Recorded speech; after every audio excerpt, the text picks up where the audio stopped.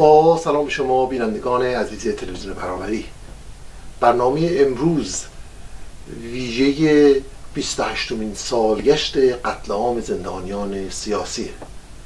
در دوره‌ای که سکوت این کار شکست خورده و شبه 67 بر فراز جماران خیمه زده و نظام آدمکش اسلامی رو به وحشت انداخته. انتشار فایل صوتی آیت الله منتظری در دیدار با اعضای هیئت مرگ در جریان اعدام های سال 67 زلزلی در ارکان نظام اسلامی ایجاد کرده. در مورد تاثیرات این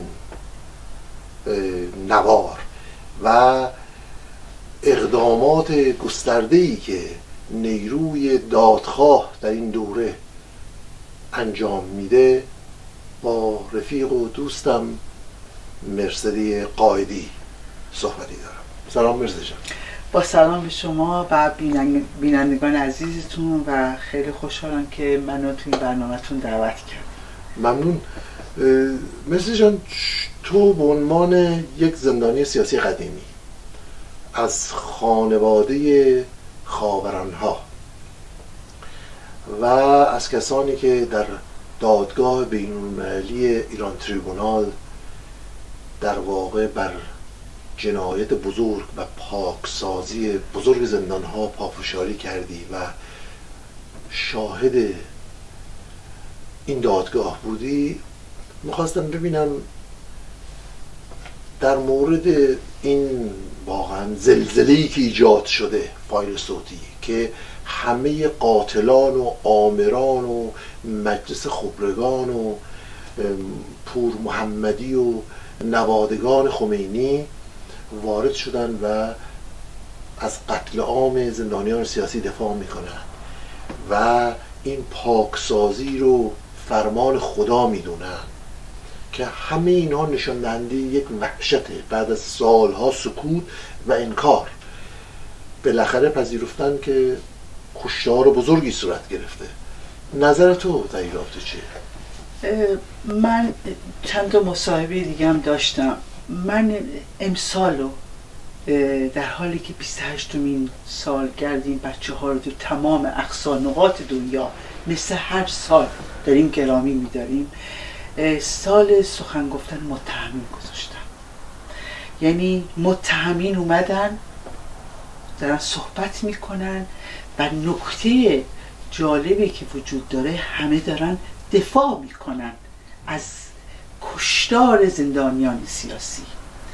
من می‌خوام برگردم به اینکه سالها از سال شست به نظر من از شست که وقتی که سلط... سعید سلطانپور تقی شهرام طلعت رهنما اینا رو بردن تو خاوران گذاشتن به نظر من قدم های اولی دادخواهی شروع شد. یعنی خاوران رو تنها نذاشتن. و جایی که رژیم گفت باید الان این بحث نیست. نشستن در دولت رجایی و تصمیم گرفتن برای کسی که به اسلام اعتقاد نداره. یعنی مرتد از نظر اینا یک مکانی را به اسم خاوران گذاشتن. و از اونجا این مبارزه شروع شد. و همینطور این صحبت شد. صحبت شد. به نظر من جنبش دادخواهی سکوت نکرد. یک رژیم هار یک رژیم سرکوبگر یک رژیمی که شست شست یک شست دو شست سه و شست و چهار همینطوری سرکوب و اعدام داشتیم. دوران شست تا شست رو می‌خوایم بگیم خونینه و در ادامش می‌بینیم شست و هفته و این رژیم رو ما می‌بینیم در تمام این دوران خانواده جنگیدن. و دستگیرشون کردن. کمیته بردن. عکس گرفتن. تعهد گرفتن. گفتن نری و خانواده کردن این کار داریم از رژیم ایران صحبت می‌کنیم. جنایتکارانی که الان دارن اعتراف می‌کنن. از دولت آرژانتینی که مادران آرژانتین اونجا دارن مبارزه می‌کنن صحبت نمی‌کنیم. هرچند دولت آرژانتین چهار تا از مادرها رو کشت. ولی فردا دوباره مادرها رفتن. بعد از این سالها ما امسال می‌بینیم پور محمدی قاتل پور محمدی در دادگاه و میاد دفاع می‌کنه و تمام بحث می‌برن که اینها کار نظامی می‌کردن. اینها الان شاکیان ما شدن. یعنی شاکی میگن ما شاکی هستیم. سال سی و هشت سال دارن اعدام می‌کنن و اومدن دارن میگن که اینها حمله کردن و در واقع متهم داره حرف می‌زنه ولی متهمی که به نظر من داره دفاع می‌کنه از کشتارش. و تو این فاصله ما می‌بینیم. به نظرم بحثی که هستش شاید شما و ما سالها داریم میگیم در سرکوب یک چیزی جمهوری اسلامی توافق داره. باید بزنیم به اصطلاح اینا اصلاح طلب. ما امروز ببینیم تمام اصلاح طلبای در دولت امیدی به اصطلاح اینا روحانی همه از هیئت مرگ سال 67 دقیقا اینا می‌تونستن پور محمدی الان دولت می‌شناسه؟ الان پور محمدی موقعی ما آیا شاهدانی که صحبت کردن این سالها هیچ بود؟ یعنی بحث دوری میشه که عین اون صحبتی نشد و الان. درسته متهم برای حقوقی دادگاه حقوقی مهمه. به نظر من از نظر حقوقی ما الان مطرح. هرچند در دادگاه ایران تریبونال ما صحبت های منتظری نشون دادیم. ولی از نظر حقوقی مهمه و یه اتفاق افتاد. چیزی که اینها به قول شما در اول صحبتتون گفتید انکار می‌کردن. این نوار هیئت مرگ میگه دیویستا مونده. جالب منتظری اونجا نمیگه نکنید. نمیگه قطع کنید. میگه من نمی‌دونم هر کاری خودتون می‌خوایم بکنید اجازه نمیدم. اجازه نمیدم. اون نکاتی که دون نوار مطرح میشه همون بحثی که ما همیشه می‌کردیم. حفظ نظام. من می‌خوام بینندگانتون اینجا به یه چیزی رجوع بدم. ببینید از وقتی که ما تو زندان رفتیم در نوع سرکوب هم با هم اینا اختلاف نظر داشتن. نه که نه که شکنجه نکنیم لاجوردی می‌زد می‌زد به دیالیز میکشوند. ما تو کمیته مشترک می‌زد بودیم یه پایی شلاق می‌زد. اختلافشون بود. می‌گفت اطلاعاتی بیشتری بگیریم الان تو این نوار یه چیزی روشن شد. همشون از رفسنجانی از نور محمدی از کل, کل متحریک نهاده همشون میگن حتی اگر به صحبت های متحری هم گوش کنی برگشته گفت بیاین توضیح بدیم که ما باید این کار رو می‌کردیم. اینها دارن شلوغ می‌کنن. در که به نفع نه این به نفع کسایی که اعدام شدن صحبت نکرد. میگی بیاین بگی که اینا چی کار کردن. ما باید این کار رو می‌کردیم یا نمی‌کردیم. بعد گفته خانواده ها باشون خسارت. ما برای خسارت نیست. یک واقعیت. امر امر روشن شدن حقایقه. امر امر دادخواهیه. ولی توجه بکنید تو تمام این صحبتاش کن. یک چیزی. توشون توافق نظر وجود داره. باید می‌کردیم کار. چون به طور واقعی اینه که اینا از سال شست یعنی از همون میشه گفت از قبل از شست از پنجاب و هشت که خلخالی رفت و اون کشتارهای بزرگ رو توی کردستان انجام دادن. از هرموز گرجی بیانی و در واقع میزایی اینا رو کشتن احسن ناهید رو شهریار ناهید رو کشتن در برانکارت. و کشتارهای بزرگ رو سازمان دادن. اونجا ما شاهد قبرستان های معینی نیستیم که اونجا بود.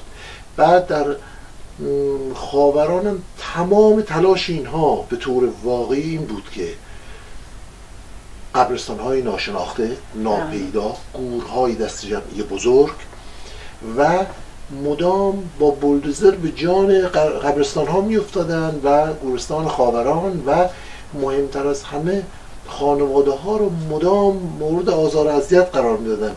اگه یادت باشه مادر جهرومی رضای جهرومی ها اون در فاصله بین بیج زهرا و خاوران کشته شد و رفت زیر اتوبوس.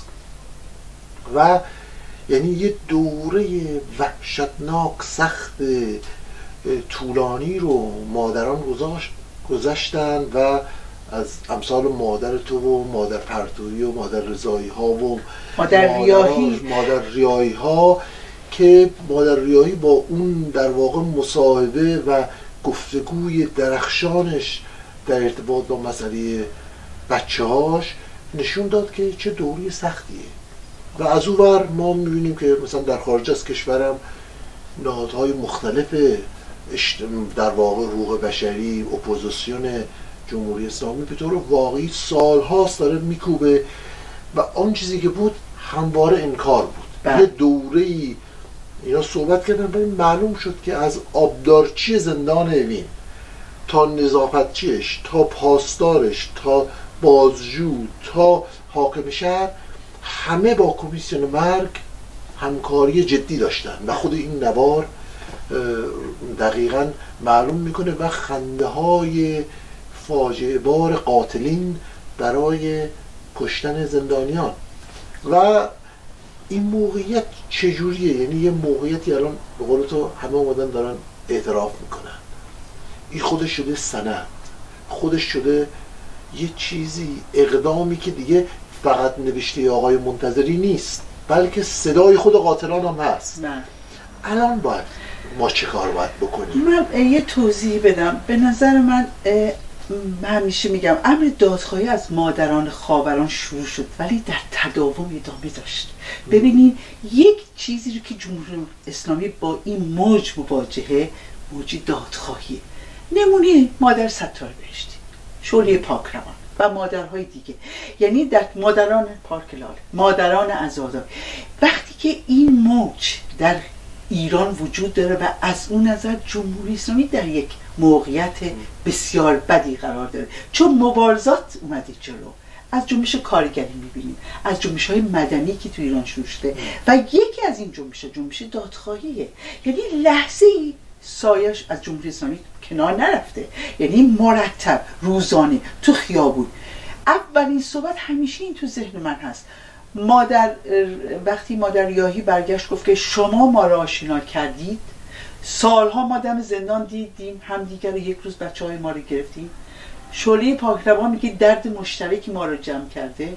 مادر ستار بهشتی در خونش رو به روی همه مادران و کسایی که اعدام شدن باز می‌کنه. این یه جنبش قویه. و الان خیابون تو خیابون حضور داره. و وسط می‌دونه. در این حال ببینیم که بحث جناحیه. ما به جناحی رژیم این خوبه اون بد هست نیست. همون نکته که شما گفتید زندانبان در سال 67 از زندان بیرون نرفت. ما زندانبانامون شیفت عوض می‌کردن. اولین سوالی که برام مطرح بود چرا زندانبانان عوض نمیشن؟ به خاطر که همه تک تک اینا نقش داشتن در این سرکوب. برای همین الان فقط این نوار. تو کتابش بود ولی یک موج وسیع انفرماتیک مدیای اجتماعی نسل جوان. این مجموعه میلیون ها نفر اینو گوش کردن.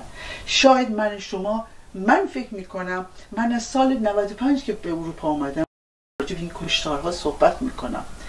من شاکی جمهوری اسلامی شما که برادرتون برادرتون اعدام کرد داشتیم حرف می‌زدیم ولی انگار حتی به ما با شک نگاه می‌کردن. هرچند جمهوری داخلی به شک اونا کار نداشت. داشت کارش رو پیش می‌برد. یه تاریخ ببینید یک موقعیت های تاریخی تو هر جنبشی معنی داره. به نظر من جنبش دادخواهی ایران بعد از این مبارزه طولانی یک دادگاه مردمی ایران تریبونال تشکیل داد. من و شما و خیلی هفتاد بیش هفتاد نفر اومدیم. کیفر خواستمونه علیه جمهوری اسلامی گفتیم.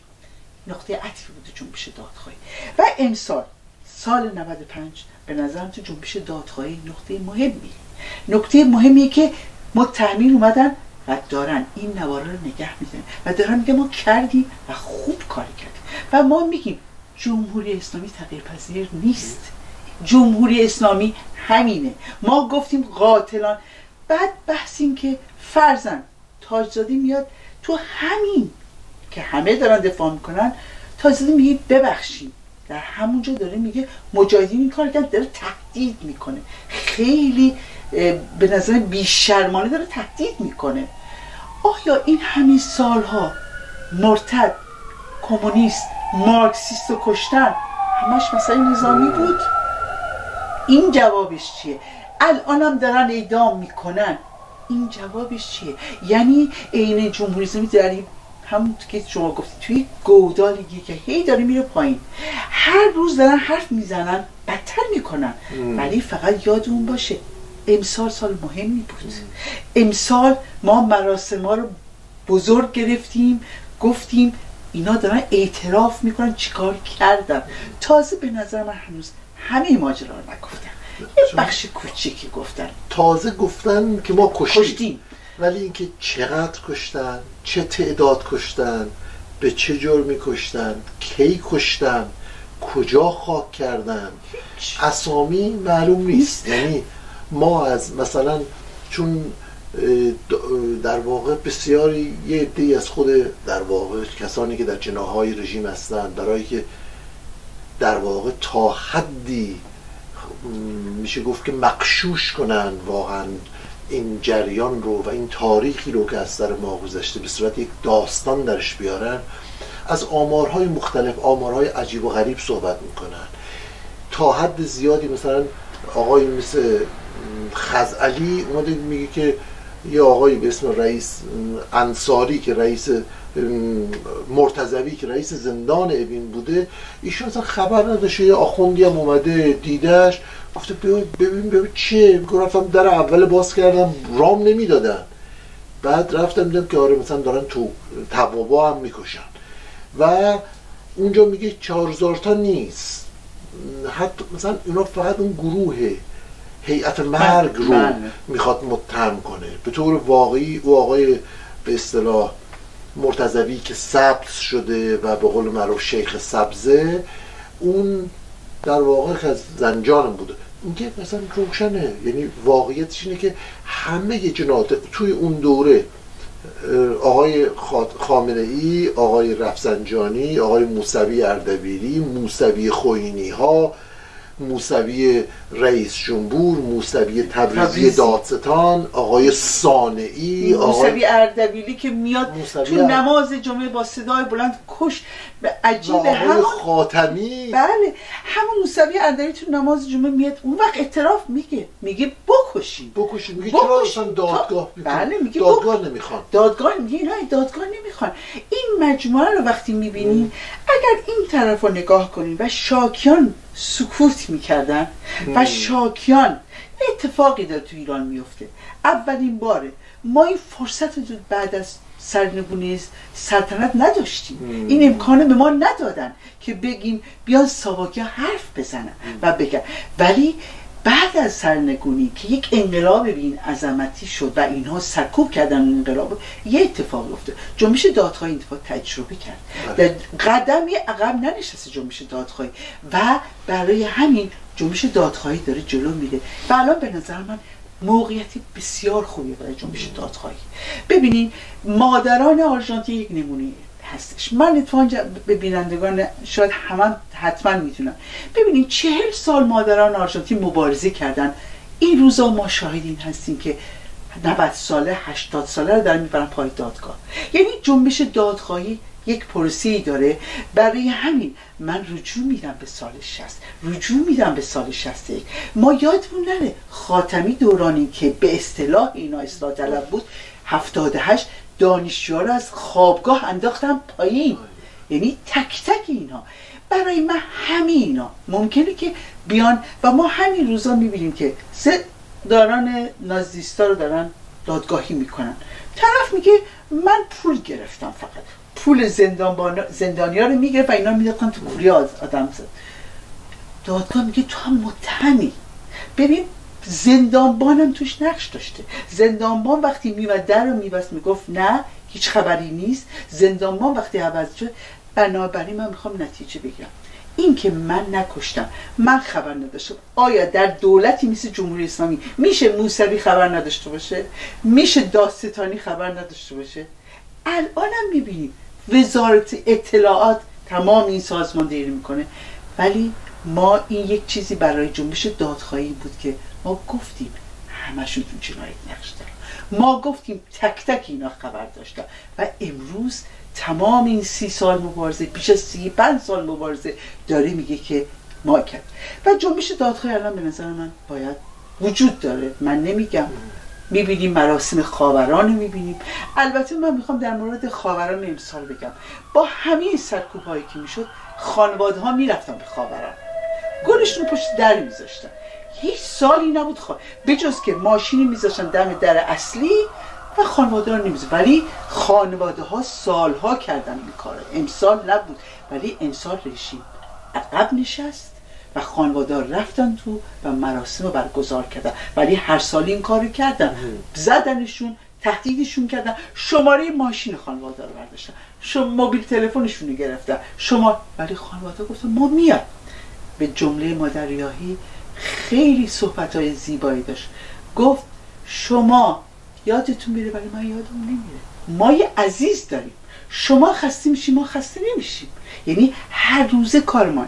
برای همین الان جنبش دادخواهی باید قدم های بعدی رو برداریم. و بعدی اینه که ما وادارش من الان یه بحثی مگش و وقتم کمه. بحث اینه که پول محمدی رو از قدرت برداریم. من بحثم این روحانی می‌دونست پول محمدی کیه. وزیر وزارت کشورم زمان احمدی نژاد داشت. شما حساب کنید فقط اینا قاتلان نقششون عوض میشه. یه بار یه بار مسئول زندان مشهد پور محمدی یک بار میاد هیئت مرگ میشه یه بار وزیر تو وزارت کشور میاد یه وقت وزیر دادگستری میشه. من بحثم ایران نیست. من بحثم اینه که ما باید همین شعار ما تک تک به طور واقعی بحث بخشش نیست. بحث انتقام نیست.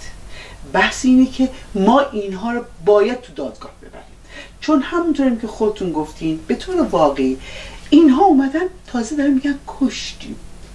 از قبرهای بینام نشان ما می‌خوایم بدونیم. رشت رو از بین بردن قبرهای بینام نشانشو کرمونشا رو بردن از بین بردن. تبریز رو از بین بردن. ما اینا رو می‌خوایم. الان ما اسامی می‌خوایم. ما یه قدم عقب نمیشیم ما اسامی می‌خوایم. ما می‌خوایم هرچند من می‌دونم تا زمانی که جمهوری اسلامی هست ما نمی‌تونیم. دادخواهی ادامه داره ولی دادخواهی ولی وادارشون کردیم. این اتفاق که امسال افتاد. وادارشون کنیم بگن. بگن که چیکار کردن؟ مردم و نسلی که دهی شست به خاطر نداره. و هفته خیلی این روزا برام جالب. مدیای اجتماعی. دختران جوانی شروع کردن به حرف زدن که می‌گفتن ما میترسیدیم بگیم عمومون رو ادام کردن. میترسیدیم بگیم داییمون رو ادام کردن. الان می‌تونیم بگیم مردم عمومون یک شبه بردن ادام کردن. این نسلی که این خاطره نداره. و این مجموعه اتفاق افتاد که الان ما ببینیم دارن راجبش حرف میزن ولی باید وادارشون کنیم.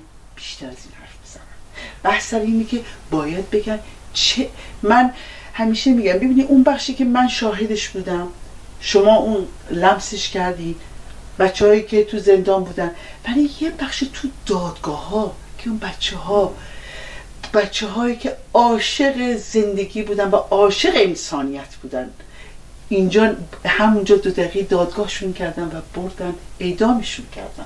ببین به نظر من تو همین مصاحبه که بعضی از اینا نقش الان هم نقش تو دولت دارن در واقع انتقام گیری هم می‌کنن. میگن من گفتم ببخشید توی یکی از این مصاحبه یکی از دختران مجاهد میگه این گفته من تواب شدم. تا رفت اونجا گفته شما جنایتکارا فشت این داره استدرام کنه پس چون اون فشت داده ما باید میکشتیمش. اینجا مسئله بحث اصلا این نیست که آدما رو به خاطر افکار کشتن. بحث مرتد ارتداد اصلا آزادی بیان. بحث که شما داره آدمایی به خاطر آزادی بیانشون کشتی. اینا دارن میگم شما قتل کردین جنایت کردین و حتی خوب و خوبه هاشون هم زیبا کلام دیگه. زیبا کلام اومده میگه که ما دموکراسی چون نداشتیم اینها باعث شدن ما این کارو بکنیم. اونا این کاری کردن. میگه دو سه هزار نفر رو کشتن. اینطوری یعنی تو صحبت های جمع حکومتی رو نگاه کنید تحقیر و دفاع. رفسنجانی دفاع کرد از امام راهلش. مگه همینجا نمی‌خوان عقیده امام پیاده کنه؟ حالا خب این هم شما کرد که اینجا اون چیزی که هست ما الان بازم شاهد اعدام باز دیگر اندیشان مثلا همین واقعا کشتار و پاکسازی عقیدتی هستیم. مثلا همین کورت سلفی رو 20 نفره اعدام کردن و باز ما شاهد کسانی هستیم که در صف انتظارن. در این حال همچنان شاهد زدن بهایی و واقعا تصویه و سرکوب وحشتناک بهایی و حتی سرکوب درویش ها و در واقع اقلیت های دیگر در واقع نوعی از تشیع و هستیم و مجموعه میشه گفت که نشان دهنده ادامه همون روند پاکسازیه و اون چیزی که شاید میشه به قول معروف جنبش دادخواهی مدام روش بکوبه اینه که این تصویرسازی ها رو کامل کنه. اونجا در نوار نوار گفتگو اونجا داره میاد میگه که دادگاه چطوره؟ میگه حتی ما دویست نفری که در زندان داریم نمی‌دونن محاکمه شدن. می‌دونن سوالهایی ازشون شده. و می‌خوان ببرن چون اعدام کنن میگه بازگشتشون به سلول بقیه زندان خواهد فهمید که چطوره. یعنی در واقع اصلی ترین و سری ترین قضیه این بوده که کشتار سری بمونه کشتار مخفی بمونه حتی از خود زندانیان کشتار سری بمونه از خانواده ها کشتار سری بمونه از همه جامعه. به خاطر همین سری بودنش تعداد مخفیه محل دفن مخفیه شرکت کنندگان در قتل عام مخفی بله. و ارگان ها شما نمی‌تونید مثلا چندین هزار نفر رو تو زندان های اوین و گوهردشت اعدام کنید بعد مثلا کارگزاران شهرداری تهران اونها نباشن با بولدوزرهاشون آماده در خاوران که بتونن اونجا این بچه ها رو خواب کنن. درست. به این لحاظ در مجموع ما شاهد شرکت و مشارکت همه این جناها بودیم. و همه کسانی که در این جناح دست داشتن. فکر می‌کنید الان چه باید کرد؟ یعنی اولین قدمی که میشه ورداشت بعد از این دوره و ادامه داری این پاکسازی های چیز کل این اپوزیسیون جریان دادخواه چه باید بکنه؟ ببینید به نظر من تا الان که جنبش دادخواهی به نظر من خوب کار کرد و البته باید بیشتر کار بکنه یکی از مسائلی که وجود داره که شما میگن الان با این اعدام های اخیر خیلی جالبه. این فضا ایجاد شده به محضی که یک اعدام اتفاق بیفته خانوادهش دادخواهی رو مطرح می‌کنن. عکس بچه هاشون رو می‌گیرن و ما خبردار میشیم از لحظه اعدام. و الان وقت به نظر من خانواده ها یک روز رو در ایران تعیین کنن و بیان با عکس بچه هاشون به نظر من تجربه مادران آرژانتین تجربه بسیار خوب و موفقی بود که اینها یک پنجشنبه رو گذاشتن یک دوره مادران پارک این کار کردن. ولی الان من توی سالهای قبل اینو گفتم عکس بچه هامونو بزنیم دم کوچه هم دم کاری که مادر ستار بهشته خیلی زیبا کرد. خواهرش عکس ستار زد پشت ماشینش. و ما الان باید بیایم دیگه تو خیابون. الان باید بگیم که همون کاری که جنبش دادخواهی در خارج از کشور کرد. با مراسمش با دادگاه برگزاری دادگاه با, با بیایم و تو خیابون بگیم ما جواب می‌خوایم. یک روز معین. میگم یه اتفاق افتاد این جنبش دادخواهی الان گره خورده. همین اتفاق که شما گفتی این روزا داره. اتفاق مرتب دارن ادام می‌کنن. هیچ خانوادی سکوت نمی‌کنه. تلفن موبیل از خانوادی می‌گیرن. ارتباطش رو قد می‌گیرن. هفته قبل خانوادش میاد عکس بچهش رو برمیداره و میگه این به نظرم چون میشه دادخواهیه. این بحث اینه که میگه می‌خوام روشن بشم حقایق. ما اگر اینو نبینیم و فشار این جنبش رو نبینیم نظر اشتباه کردیم. چون تمام این بحث های این که ما داریم از اپوزیسیون و در شکنجهگران که اونا حساب شد. شکنجهگران اونا. ولی یه چیزی رو اینجا به نظر من خیلی ضعیف جلوه داده شد و اون مبارزه خانواده هاست. شروع کنندش بودن مادران ولی ادامه پیدا کرد. اگر اون ادامه پیدا نمی کرد ما می‌بینیم در تداوم. الان می‌بینیم تریبون جلوی هر مادری می‌ذاریم. قشنگ صحبت می‌کنه و میگه من خواهان روشن شدن حقایقم. این خیلی مهمه. یعنی همین امروز من شمایی که نشستیم فردا صبح و راحت با تریبون هایی که شما دارید تریبون هایی که اپوزیسیون الان داره ما هر روزه راجع به این تریبون این تریبون بزرگترین تریبون هایی که ما الان داریم داریم راجع بهش حرف می‌زنیم. همین که من شما منو میان اینجا صحبت می‌کنم شما در مصاحبه های دیگه شرکت می‌کنی این تریبون خیلی کمک کرد. به نظر من و اینجا باید بدونیم که من تشویق می‌کنم مادرها باید این صد و خانواده بشکنن. دیگه باید حرف بزنیم. به خصوص دهه شست دهه شستی که ما شست و هفت بچه ماها بودیم و دیدیم. ولی خیلی از سال شست بچه ها در عرض دو سال اعدام شدن. بچه ها اسمشون رو نگفتن. و خانواده ها رفتن عزیزانشون شناسایی گفتن. اون خانواده دهی شست الان باید عکس بچه هاشو بیاره بیرون و بیاد صحبت کنه. از هر طریقی که می‌بینیم ما احتیاج داریم. خیلی من به نظرم تمام کس فعالین جنبش دادخواهی کمک کردن. ما می‌بینیم تعدادی کتاب در اومده فیلم ها درست شده مصاحبه ها شده. دست همه اینا درد نکنه. سالگرد ها گرفته شد. تک تک اینها کمک کرد به جنبش دادخواهی. به تنهایی جنبش دادخواهی نمی‌تونست ببره. این مجموعه رو می‌بینیم. اسناد در آورد کتاب در آورد ثبت کرد. همه اینا یک من فکر کنم جنبش دادخواهی بیشتر باید کار کنه و با هم کار کنه. به نظر همه کار داریم می‌کنیم. ولی این مجموعه بود ما رو به اینجا رسوند. تنها حرف زدن من به تنهایی و کار شما که رسانی بکنین و کار من که بیام راجع به خاوران صحبت کنم اگر یک مجموعه نبود این صدا صدای دادخواهی امروز این موقعیت رو نداشت. و صدای دادخواهی امروز تو ایران صدای بزرگیه. به نظرم یک خانواده بسیار بزرگیه. خانواده خاوران ها خانواده های مادران پارکلاره خاوران مادرهایی که همین الان من شما داریم صحبت و عزیزشون از دست دادم همه اینا تو جنبش ما قرار دارن و باید دست به دست هم فعالیت گست از راجع به این جنایت بگیم. فقط یه نکته من بحثم فقط گفتن از جنایت نیست. ما, ما می‌خوایم از اینها از مقاومتی که این آدم ها انسان ها کردن. مقاومتی که سر تعظیم فرود نیاوردن. و بگیم اینها مقاومت کردن. و جمهوری اسلامی از مقاومت از وحشت بود. همین الان دارن میگن اگر اینا رو نمی کشتیم کشور ما رو می‌گرفت. خیلی جالب. تو تمام صحبت که اینا پر رو بودن مقاومت کردن سر تعظیم فرود نیاوردن توی این دوره این اتفاق هم افتاد. یعنی این هم دیدیم شکستشون هم باز دیدیم که بچه ها مقاومت کردن تو زندان.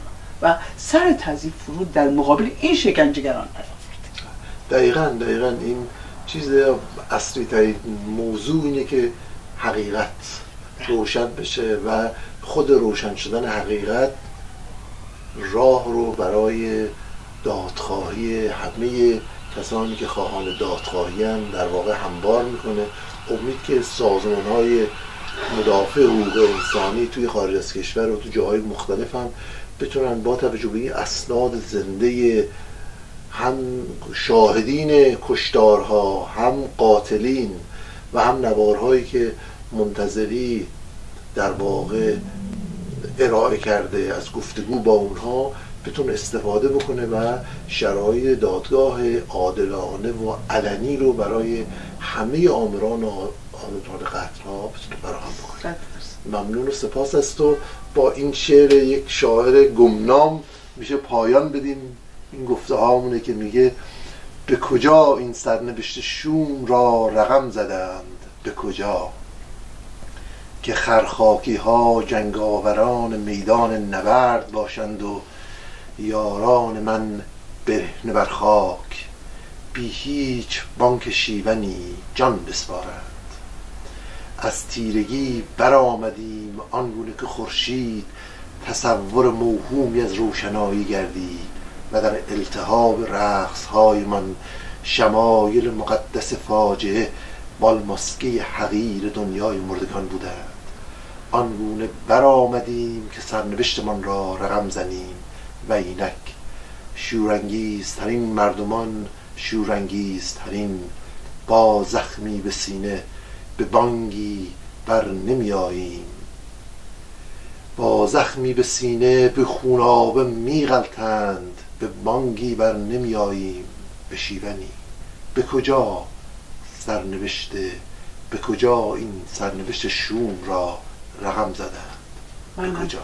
من یک آخرین جلو اگه وقت دارم نه فراموش می‌کنیم نه میبخشیم انتقام نمی‌گیریم.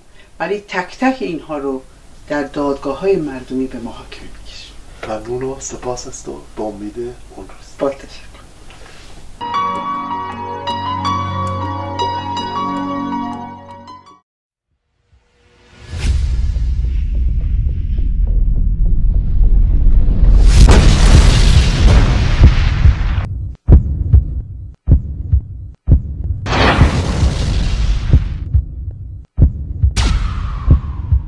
درود به شما بینندگان گرامی تلویزیون برابری. رژیم اسیرکش کارگر ستیز و ضد انسان جمهوری اسلامی ما را در سوگ شاهرخ زمانی فعال کارگری اندیشمند کمونیست و مبارز آزادی خواه نشاند که چند سالی بود که به خاطر مبارزات سیاسی و به ویژه سازمانگرانه کارگریش در اسارت به سر می برد. شارخ زمانی در زندان نیز از فعالیت باز نیستاد و از طریق گفتن، نوشتن و پیام های جسورانش به مبارزه ادامه داد. و به همین علت به گونه سازمان یافته ای به سمت مرگ سوق داده شد. علت بالینی مرگ شاهرخ زمانی هرچه توضیح داده شده باشد اما تردیدی در آن نیست که به شکلی سازمان یافته و از مدتها پیش برنامه ریزی شده بود.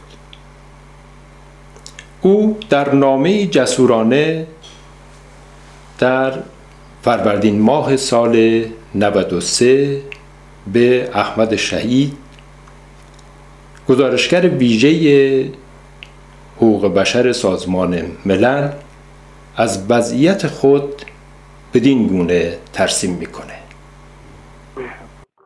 جناب احمد شهید خانم ناوی پولای. فریاد دادخواهی حقکشی قانونشکنی مسئولین علیه مرا شنوا باشید. من شاهروخ زمانی فعال سندیکایی مقیم سی ساله تهران در چهارده خرداد سال 90 که برای دیدار والدینم عازم تبریز شدم در بد به ورود توسط اداره اطلاعات بدون سند اتهامی و حکم قضایی با زور اسلحه دستگیر و در سیلون انفرادی زیر شکنجه های روحی و جسمی توهین تحقیر و تهدید به مرد حتی تهدید به تجاوز قرار گرفتم. تا حد بازو اشکنجهگر دیشته می‌کند قبول کنم. من در اعتراض به این برخورد باندی غیرقانونی و تقاضای محاکمه در یک دادگاه صالحه با حضور هیئت منصفه و وکیل هیچ گونه بازی شفاهی و کتبی نداده به این چهل روز را در اعتصاب غذا بودم. به طوری که 27 کیلو لاغر شدم. سپس بدون مدرک تامی که دادگاه بتواند رویان حکم بدهد تحویل شعبه یک دادگاه انقلاب قاضی حمله بر داده شده و با سفارش بازجو به یازده سال زندان محکوم شدم. حمله کار حمله بر قاضی فرمایشی در تناقض آشکار در دادنامه من اعتراف می کند که متهم شاهرخ زمانی در کلی مراحل تحقیق و بررسی منکر مواد تامی شده است. اینکه به چه طور وی بدون کوچکترین سند تامی یازده سال حکم داده است باید جوابگو باشد. سپس این حکم نادلانه در دادگاه شعبه شیط از نظر قاضی ایمانی که به دادگاه تایید نظر مشهور است تایید و بعد شعبه 29 دیوان عالی که به شعبه سفارشی داره اطلاعات مشهور است بدون رسیدگی به اعاده دادرسی تایید شد. وکیلم جناب آقای پورفریدی در اعتراض به تایید شعبه تجدید نظر تاکید کردند جناب قاضی حداقل یک دلیل محکم پسند برای تایید حکم بیارید. کارشناس دیوان عالی ضمن تأسف از بررسی نادلانه یاده دادرسی به مادرم گفته است. من هیچ گونه سند اتهامی که قاضی بتواند روی آن حتی یک روز حکم زندان بدهد در پرونده ندیدم. باز برخلاف برخورد سفارشی و باندی در ماده 22 آن نامه داخلی سازمان زندان ها که دخالات کلی نیروهای نظامی قضایی اطلاعاتی را در مورد امور اداره زندان اکیدن قدرن کرده است. وجود شعبه اطلاعات مانند ایوین 209 تبریز 37 رضای شهربند سپاه که مستقیما زندانان سیاسی تحت کنترل و نظر دارند. به سفارش باندی بازو در زندان تبریز مرا به بدترین بندهای زندان یعنی کرنتینه دوازده محکومین خطرناک پانزده متادون که پر از ایدز و کانگاره و هپاتیت بود دادن تا از بین ببرند. بعدا به یزد و رضای شهر و اکنون نیز برخلاف آیننامه داخلی سازمان زندان ها در تفتیش تراین به زندان مواد مخدر حساب به طور غیر قانونی بدون تفهیم اتهام و حکم غذایی تبدیل کردند که در زندان رضای شهر به عنوان نماینده سالن دوازده سیاسی و مدافع حقوق قانونی و سنفی آنان به تخریب تماشاخانه زندان تشدید پارازیت های مضر سلامتی زندانیان ضرب و شتم زندانیان و دیگر موارد نقض حقوق زندانیان اعتراض کرده و خواستار اجرای مواد آیننامه داخلی زندان در 16 ماده به صورت کتبی شدند لازم به ذکر است تمامی این زندان ها فاقد کوچکترین استاندارد قوانین سازمان زندان ها و حقوق شهروندی در مورد تغذیه بهداشت درمان آموزش ورزش و تفریحات ارتباطات عاطفی زندانیان با خانواده مانند تلفن مرخصی ملاقات حضوری مکاتبه بوده و زندانیان به طور سیستماتیک مورد تحقیر توهین شکنجه روحی جسمی قرار می‌گیرند. و برخلاف ماده سه آین نامه سازمان زندان که هدف زندان و تربیت بازسازی و بازسازگاری زندان تعریف کرده است. خشنترین بیسوادترین و آمیزترین افراد به روانشناس مربی تربیتی حکومت می کنند که کتک و مردم آزاری نوعی ثواب و به کلید بهشت می‌دونند حالی جنابان یک زندانی سندیکایی را به طور غیرقانونی دستگیر زندان و سپس به جایی تبدیل کردن که از بدترین زندان ها ایران می باشد چه وقت می توان با بوین وسطا تشبیه کرد. زندان مخوف قزل با ده بند مستقل با ظرفیت اسمی 6 تا 7 هزار زندانی پذیرای 20 و در حال پرتراکم تا 38 هزار زندانی می باشد که فعلا این اعداد حدودا 21 تا 22 هزار نفر می باشد که 3 هزار نفر اعدامی حدود 7 هزار 700 و همین حدود 15 سال زندان می باشد به طور متوسط هر ماه 10 تا 20 نفر اعدام می شود اکثر حکمای صادره زیر بدترین شکنجه ها در آگاهی بدون حضور وکیل و هیئت منصفه بوده است. زندانی از بعد ورود در سه نقطه مقابل سه تا دو تا دو تا سه توربین لخت و مادرزار می شود در اتاقهای هفت متری از 9 تا 16 نفر در شرایط تراکم نگهداری می شود در بهترین واحد زندان یعنی واحد سه روزی برای 160 تا 200 نفر در پنج دهنی حمام از 40 دقیقه تا دو ساعت حمام می باشد اغلب روزا ساعت یک تا پنج آب قطع می باشد درمان در سطح خیلی نازل می باشد هر ماه یک بار وعده بهداری می باشد که بدون کوچکترین معاینه چندین گوشت داده می شود در تغذیه سویای حیوانی همراه با بیکیفیتترین مواد به قدری خراب میشه که زندانیان حاضرند گرسنه باشند ولی غذا نخورند و کسانی که از رستوران غذا می‌خرند مرغ یک کیلوی 6000 تومانی را به قیمت 17000 هزار تومان می‌خرند. وضعیت خراب و مالی زندانیان آنها را وادار به فروش مواد مخدر داروهای روانگردان سیگار در جای است کارت تلفن وقت تلفن و غیره می‌کنند کتاب در حکم کیمیا بوده و زندانیان دور نگه داشته می شود. در جای به نام دارالقرآن زندانیان برای گرفتن مرخصی ملاقات حضوری مجبور به حس عربی قرآن می شود که اغلب به صورت خبرتین از آنها سو استفاده می شود. دیگر زندانیان به این بند دارو شیطان می‌گویند زیرا که اغلب این انسانها خرد و تحقیق شده و خود باخته و بیهویت را مجبور به آدم فروشی و خبرچینی از همبندیان خود می‌کنند کوچکترین اشکال اعتراض قانونی زندانیان با 20 روز انفرادی زدن موی سر ضرب و و فلک کردن و ضربات کاب زیر پا مواجه می شود. زندانی را توی آب و حوز انداخته خیز کرده با شکر به جانش میفتند که فریاد بدبختا به آسمان بلند شده و تقاضای عفو بخشش می‌کنند فردی به نام شیرازی که مسئول واحد قرنطینه بوده و اغلب خانواده خانوادهش پسرها دخترها و عروسش در زندان کار می‌کنند. علاوه بر ضرب و شتم جدید زندانی ملایمترین کلامش های رکیک زن و بچه و پدر و مادر و خود زندانی می‌باشد. کسی نیست که از کلام ایشان بهره ای نبرده باشد. زندان پر از از بیماران مصری و لحاظ اید هپاتیت سیل و گانگاریه می باشد مخصوصا در واحد یک با شش هزار زندانی فقط 400 نفر سالم باشد که اغلب اید سیل و گانگاریه می باشد این چهار ماه گذشته 65 70 نفر جان باختن و در هر در هفته اول فروردین چهار نفر هیچی پس از انتقال به بیمارستان به علت تیرچرد فوت کردن در واحد چهار که واحد کارگاه می باشد و با بخش های دیگر زندان و بیرون از زندان تماس دارد تست ایدز 15 نفر توسط بهداری مثبت بود که خطر سرایتان به بقیه بخش جدی می باشد. به طور خلاصه و مفید این زندانی که من در آن نگهداری می شوم جناب احمد شهید خانم کلای من از موقع انتقال و نگهداری غیرقانونی به زندان مواد مخدر که برخلاف آیین داخلی سازمان زندان ها در تفتیش درایم باشد در اعتراض به این مسئله تا امروز 33 روز است که در اعتصاب غذا بوده و 20 کیلو وزن کم کرده و حالم به شدت خراب است.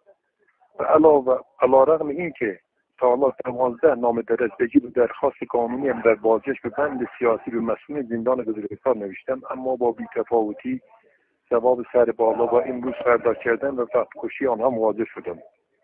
من ضمن اینکه عواقب و مسئولیت هر گونه لطمات روحی جسمی و جانی احسابرزا را متوجه مسئول می‌دانم از آن جنابان می‌خواهم با فرستادن کمیته حقیقتیاب به این قتلگاه و فشارهای جهانی و حکومت جمهوری اسلامی آن را وادار کنند حداقل به قوانین مصوب خود در رایت و شهروندی و سنتی زندانیان مخصوصا تشکیل سرایم پایبند بوده و مرا به بند سیاسی دارند با تشکر از زحمات بیشابه دستم را به گرمی میفشارم. شاهروخ زمانی 18 فروردین 93 شاهروخ زمانی از مبارزین خستگی ناپذیری بود که حتی در زندانها و شکنجگاه های جمهوری اسلامی لحظه ای از مبارزه برای حقوق کارگران همبستگی با آنان در همه موارد و همچنین تبلیغ و ترویج آرمانهایش لحظه ای از پای نایستاد به جرأت می‌توان ادعا کرد که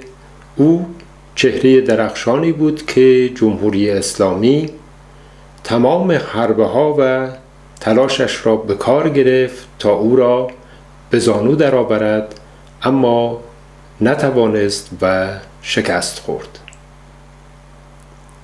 چهار دهه زندگی مبارزاتی به ویژه چهار سال اخیر زندگی شاهرخ زمانی تأییدی بر این ادعاست او در نامه‌ای به مناسبت مرگ مادرش زندگیشان را این گونه ترسیم می کند.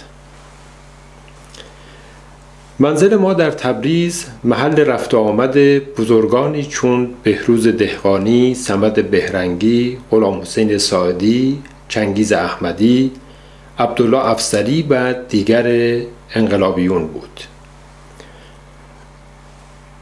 مادرم در چنین فضایی تمام محبت و تلاشهای قهرمانانه خود را فداکارانه صرف کمک به خانواده و سرپا نگه داشتن آن و ادامه مسیر انقلابی کرده بود.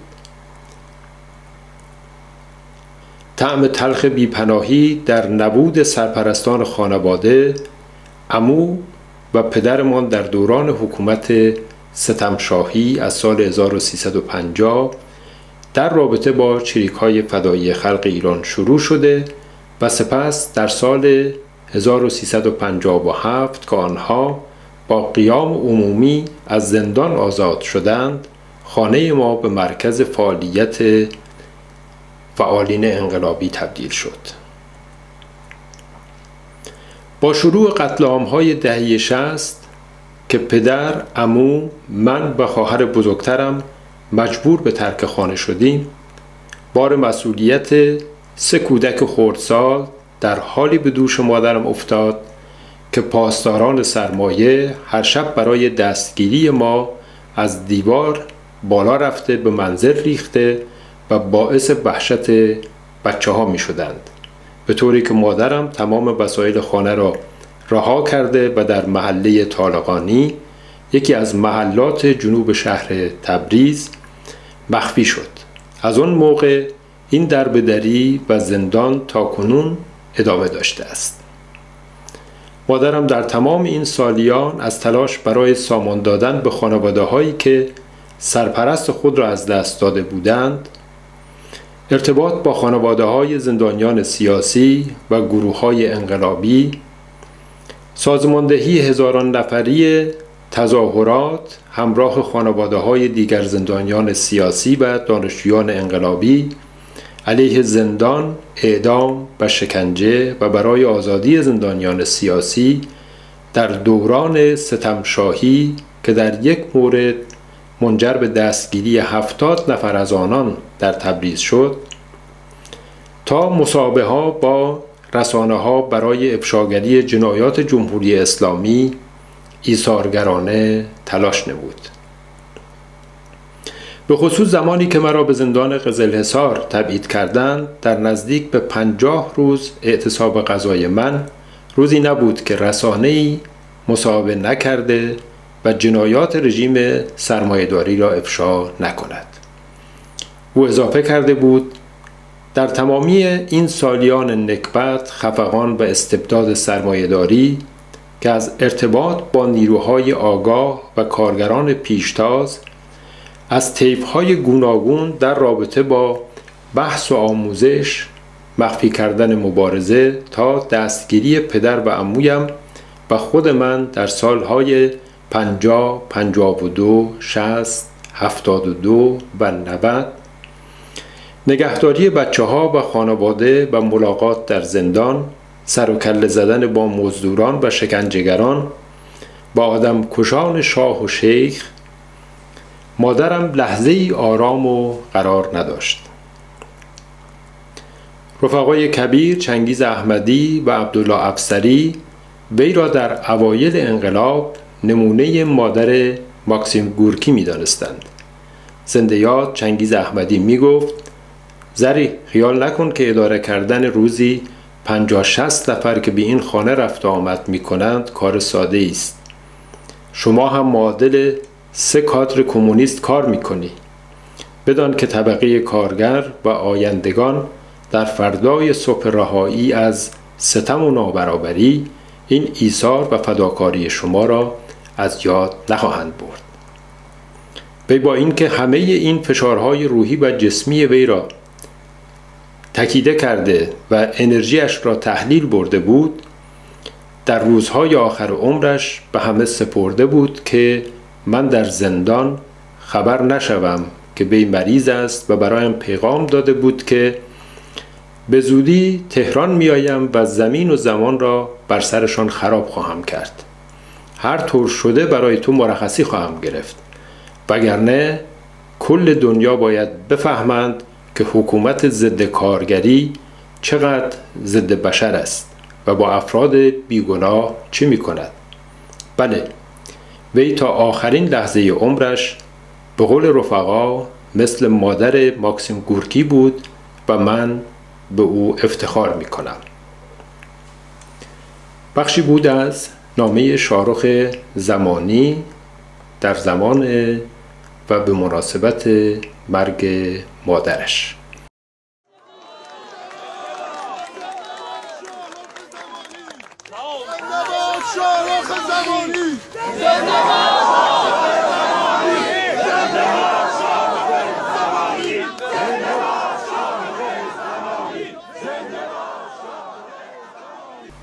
بینندگان گرامی تلویزیون برابری با سپاس از همراهی و همدلی شما.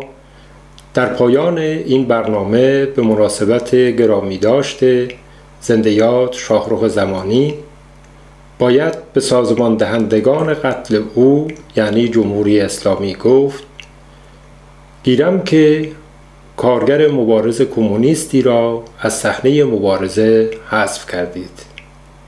با دادخواهی فرزندان او هم طبقه هایش و هزاران جوان و خانواده داغدار جنایات بیشمار سیاسیتان چه بیکنید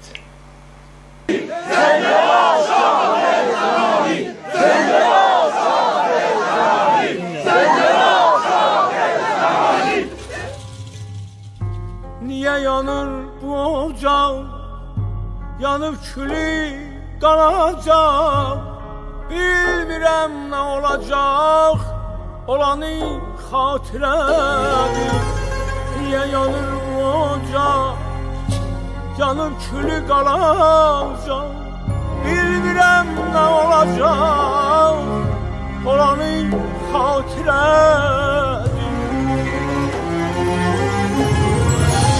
Yer çıxdıq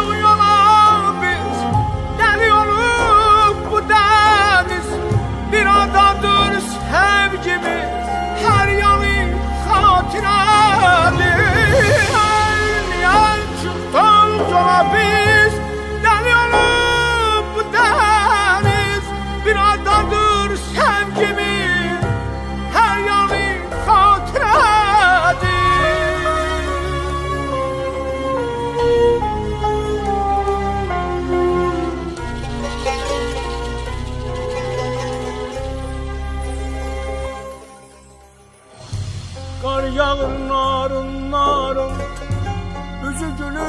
dalların O yaşayar halların Sılanı hatredir Kar yağır narınların Büzücülür dağların O yaşayar hallara Sılanı hatredir